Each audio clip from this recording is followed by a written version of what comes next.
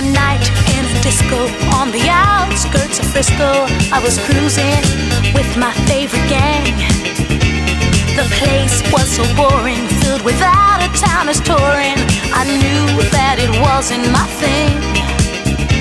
I really wasn't caring, but I felt my eyes staring at a guy who stuck out in the crowd.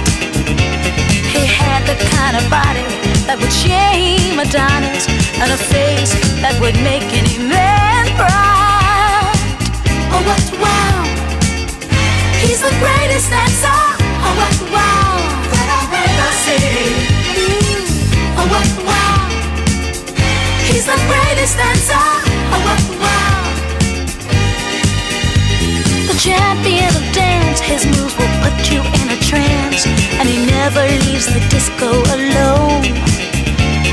Arrogance, but not conceit. As a man, he's complete. My creme de la creme. Please take me home.